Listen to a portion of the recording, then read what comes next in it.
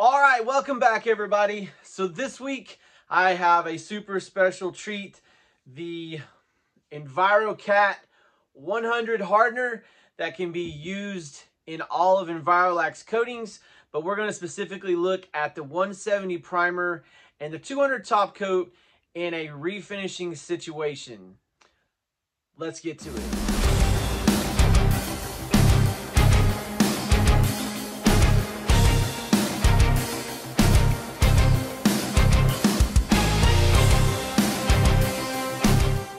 So before we get into the video, I want to talk about how I set this up. Um, what I have here is a lot of people know about the 2K isolator from ICNS that Rob Gennari sells, which I will be having him on uh, the show here soon. And what I did was a comparison between the 170 and the Ilva on a cherry door, you can see that um, it's a very dark color. And then on the back, I did the 200 primer, and we're to look at the results by adding the hardener to it. Now, the hardener is 5% for the primer and 10% for the top coat. And I got to tell you, it really takes this stuff up to another level. So let's get into the testing. All right, so I want to talk about how I prepped this. All I did was scuff this with 400 um, sandpaper. I did not sand to a high grit um, because this door was in excellent shape. Um, so this is just a sand to uh, 400 and then I want to see what the adhesion's like. So let's take a look at each one here. So I have a cross hatch on each one of these here and I've already done several of these just because I was curious. So let's look at the ICNS isolator first. And on that one, we got absolutely no pull. Um, this stuff is crazy. I mean, you can't even really pick at this at all. All right, so let's look at the Envirolak, which is a pigmented. Um, and let's see what we get here. All right, so the Envirolak, um, we're pulling the wood fibers up out of the wood, as you can see there. And then we're picking up some of the leftover from where I cut it. So impressive on the Envirolak for um, adhesion. Now let's take a look at the Mar resistance between the two of them. All right, so that one, super hard. Um, I am kind of scraping off the surface of that. Um, let's take a look at the Envirolak. All right, not even being able to mar that one at all. There we go, getting a little bit of scraping. So, if we look at these, um, slightly better adhesion with the isolator than the Envirolak, but the Envirolak has better mar resistance and scratch resistance than the isolator is going to have underneath it. So, let's flip it over on the back and look at the Envirolak 200. Now, I've got a bunch of scratch marks and everything on here. So, I have this side that's unsanded, and then this side I sanded to 400. And what I'm curious is, is if we're going to see a difference between the two. So, I'm going to pick a new spot here that we're going to work from. And we're going to do the unsanded side first. Uh, we're going to do... Uh, the scratch or mar resistance of it to see if we can peel the coating off. And as you can see, we are denting the wood on unsanded, okay? There was no scratch put to this whatsoever. So with the hardener added to it, the adhesion is off the chain. Um, and this is over a conversion varnish. No sanding, mind you. Okay, so crosshatch adhesion on the unsanded all right, we ripped actually some of the fibers of the wood off of it. So the adhesion is amazingly well. Probably, I would say the same as the isolator on the other side, okay? So let's take a look at the sanded side and see what we get here with this one.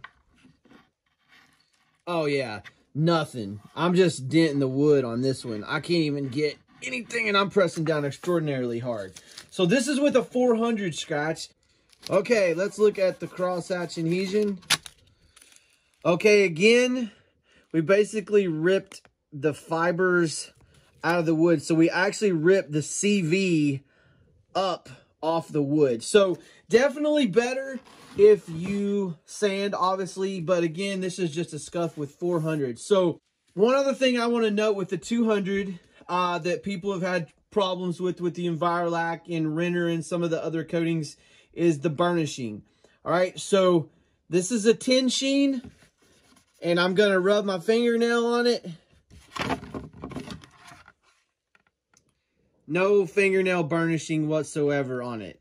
So adding the hardener will take away the burnishing effect. Now, one interesting thing to note, you see where I have this stuff like it's completely peeled off? It takes a couple of days before it actually reaches full adhesion. Um, I actually IR cured this, and after it, I let it cool down, and until two days later, I could just pull this off. So this is dry for like four or five days now, and it's a substantial difference. So it takes a while actually for these coatings to actually grab on the surface.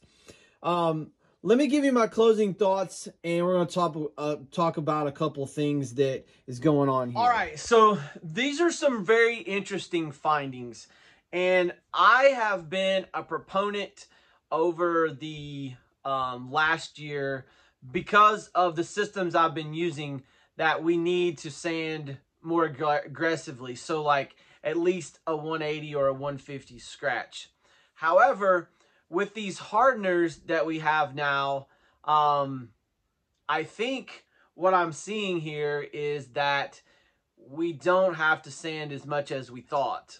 Um, I know that's going to open up a lot of can of worms, but you know, you can do these tests for yourself. I mean, this was unsanded on a conversion varnish, okay?